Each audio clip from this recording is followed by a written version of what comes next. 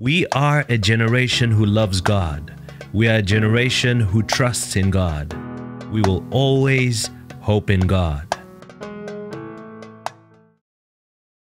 Greetings in the wonderful name of Jesus. It is Evangelist Gabriel Fernandes here, and I'm so happy to be with you today. It's a brand new day that God has given us. It is a wonderful day. God is good and He loves us. He loves you, my dear friend, with an everlasting love and that love is not going to fade away. You can be rest assured that God is with you, God loves you, and God is guiding you. He will protect you. My dear friend, I want to speak to you, and the title of my message today is What Does It Profit a Man if he gains the whole world and yet loses his soul? Let us begin by welcoming the Holy Spirit. Wherever you are, lift up your hands as a sign of surrender and say this out loud with me. Say, Holy Spirit of God, I welcome you. Come and take over control. Lead me closer to Jesus. Show me Jesus. Reveal the scripture to me. Help me to do what is right. Help me to walk in the right way. I ask this in Jesus' name and I thank you for it, Lord. Amen.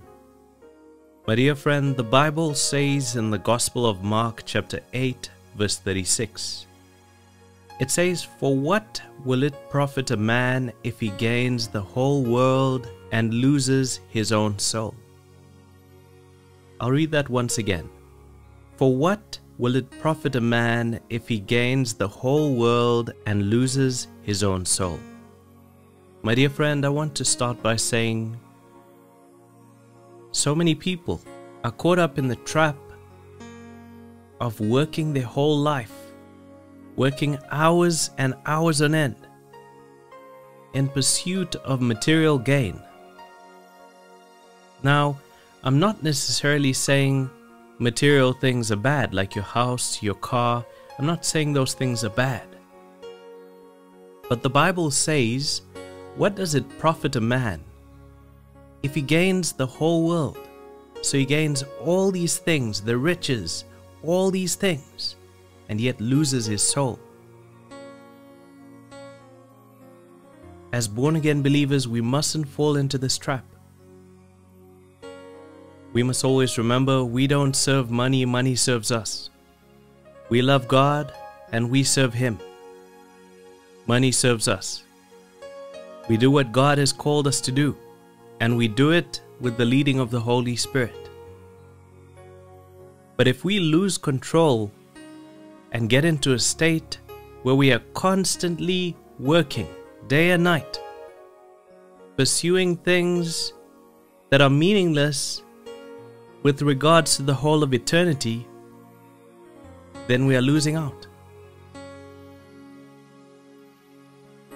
You know, I always used to wonder when I see people who have everything.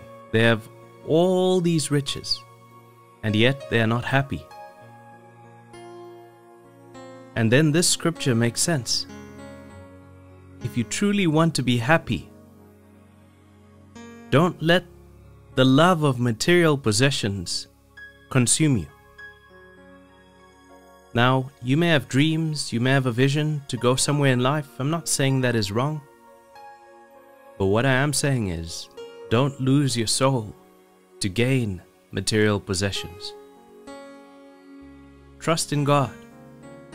He will give you all that you need in time. He will lead you, He will guide you of how to go and how to go about it and what to do so that you can be successful. There are so many people who have so many things, and yet they are not happy. They are not satisfied. They say, okay, I'm going to push until I reach this level. And when they reach there, there's always something else that they want to do.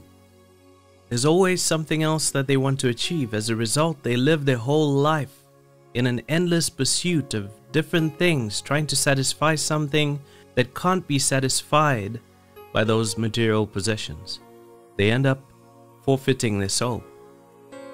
They end up really unhappy. and not truly satisfied. The Bible says, Seek first the kingdom of God and his righteousness, and all these things shall be added unto you. So God knows what you need, He knows what you want. And as we pray, as we commit them to Him, He will give them to us in due time. But it's absolutely essential that we do not let these material things take over our lives. We have one God, God the Father, the creator of heaven and earth, the God of Abraham, Isaac, and Jacob. And He loves us with an everlasting love. And we shouldn't allow these other things out there that we pursue to become our gods, but we should rather pursue God, pursue His kingdom and His righteousness, and all these things we need will be added unto us. What does it profit a man if he gains the whole world yet forfeits his soul? I'll say that once again. What does it profit a man or a woman if he or she gains the whole world and yet forfeits their soul? It's something to think about. Because sometimes we may be stuck in this endless pursuit of different things and we miss out on the greatest blessings that God has given us. We miss out on spending time with our loved ones, spending time in God's presence, spending time doing what we really love to do, spending time being happy, spending time with our pets, who are also gifts from God. Whether you've got dogs or cats or fish or whatever pet you have, spend time on the correct things. And don't let the love of money or material possessions rob you of true happiness. These things will be given to you in due time.